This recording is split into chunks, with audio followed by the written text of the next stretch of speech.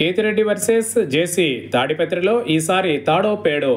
గత ఎన్నికలలో తాడిపత్రి నియోజకవర్గంలో సంచలనం నమోదైంది. దశాబ్దాలుగా ఏలిన జేసీ కుటుంబానికి కంచుకోటను కేతిరెడ్డి పెద్దారెడ్డి బదలు కొట్టగలిగారు. అప్పట్లో జగన్ వేవ్తో అందరూ ఓటమి పాలైనట్లుగానే తాము ఓడిపోయామని జేసీ బ్రదర్స్ సర్ది చెప్పుకున్నారు.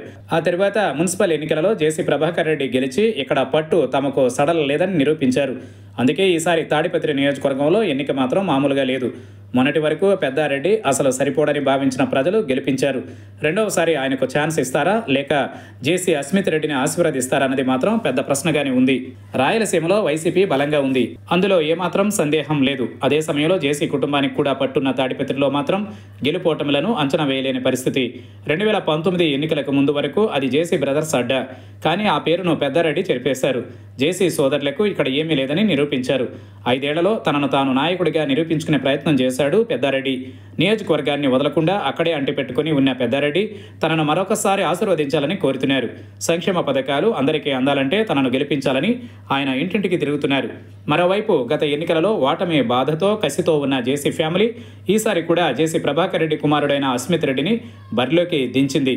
గత ఎన్నికలలో ఓటమి పాలైన సానుభూతితో పాటు జేసీ బ్రదర్స్ కుటుంబానికి ఉన్న పట్టు కూడా తన గెలుపునకు ఉపయోగపడుతుందని అస్మిత్ రెడ్డి భావిస్తున్నారు.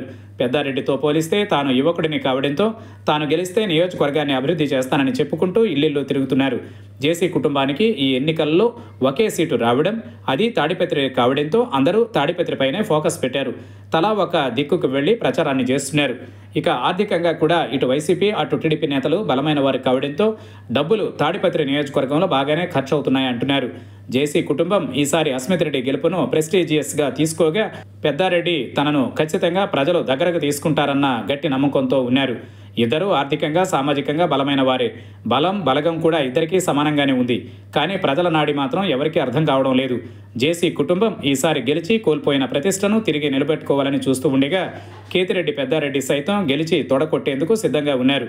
మరి జనం ఎవరికి జేజేలు కొడతారన్నది చూడాల్సి ఉంది.